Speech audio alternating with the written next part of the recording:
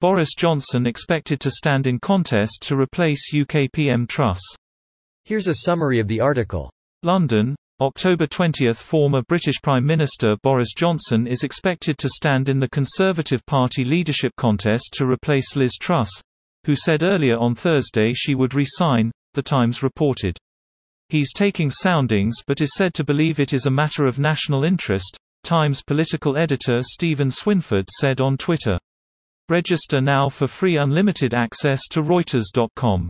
This post received a score of 44,000, with an upvote ratio of 91%. Here are the top comments in response to this article. British comedy has always been top tier. If the Tories are looking for every way conceivable to look as stupid as humanly possible, they are succeeding. And I love British comedy.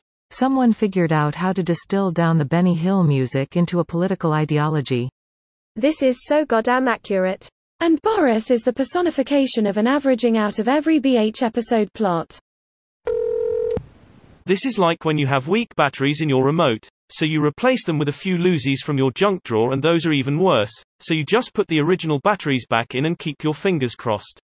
And proceed to put the shit batteries back in the junk drawer. You know, for next time. You never know. This is recycling to the next level. When you have scraped the bottom of the barrel so much, you have worn through the bottom. Nameless accursed undead, unfit even to be cinder.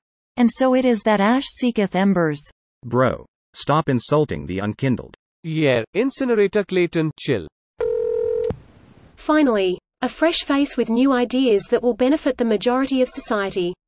He should just run as Joris Bonson. The electorate wouldn't notice. As long as he puts on a fake moustache. Just comb his hair. I wouldn't recognize him with a name tag on.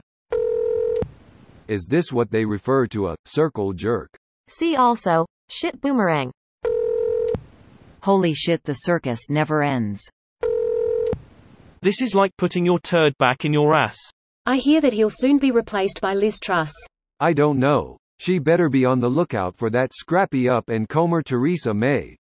I wonder what David Cameron is up to these days.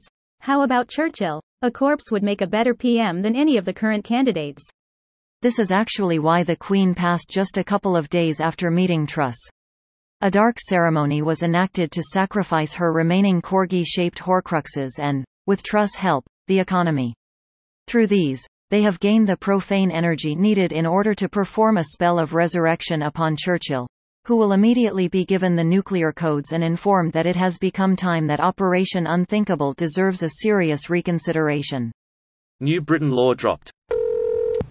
I feel like if you resign there should be something in place to prevent you from returning to the same position 45 days later. There is. People not voting for you. The problem in the UK is that the people not only do not get to choose the PM, but they won't have an election for a few more years. This is all the Tories doing and it's a complete shit show.